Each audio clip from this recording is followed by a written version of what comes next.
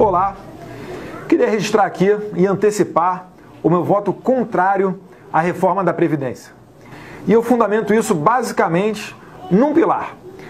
O de que, primeiro, é necessário que nós cobremos dos grandes devedores. Eu não vi esforço do governo para cobrar. São aqueles que mais devem à Previdência Social. Enquanto isso não for feito, não haverá moral para que o Congresso analise essa proposta. Além disso, é necessário também ressaltar que a nossa Previdência ela é superavitária, ou seja, ela não dá prejuízo. O problema é que tudo aquilo que é arrecadado para a Previdência acaba sendo desvirtuado para ser é, empenhado e gasto, investido em outras áreas que não a previdenciária. Então, isso aí não se trata de um problema de previdência, é um problema basicamente de gestão.